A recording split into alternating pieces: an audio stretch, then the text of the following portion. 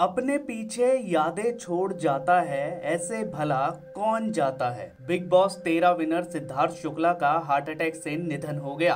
Bollywood TV सितारे fans सभी इस खबर से हैरान हैं। 40 साल की उम्र में ही इस हैंडसम हंक ने दुनिया को अलविदा कह दिया। मॉडलिंग से करियर की शुरुआत करने वाले सिद्धार्थ ने 2004 से अपने एक्टिंग करियर की शुरुआत की। बाबुल का आँगन न छूटे में भी सिद्धार्थ नज़र आए, लेकिन उन्हें असली पहचान मिली बालिका वधु से। इस सीरियल ने सिद्धार्थ को घर घर में पहचान दिला दी। बिग बॉस तेरह में सिद्धार्थ के अंदाज को फैंस ने खूब पसंद किया और उन्होंने ट्रॉफी को अपने नाम किया। टीवी के अलावा 2014 में आई बॉलीवुड फ़िल्म हमटी शर्मा की दुल्हनिया में भी सिद्धार्थ नज़र आए। इसके अलावा उन्होंने कई मुद्दों पर बेबाकी से अपनी राय रखी। 20 मार्च 2021 को सिद्धार्थ ने एक ट्वीट किया, जिसमें उन्होंने एजुकेशन सिस्टम पर सवाल उठाते हुए लिखा, जब एक टीचर सभी सब्जेक्ट पढ़ा नहीं सकता तो आप एक स्टूडेंट से सभी सब्जेक्ट सीखने की उम्मीद कैसे करते हैं?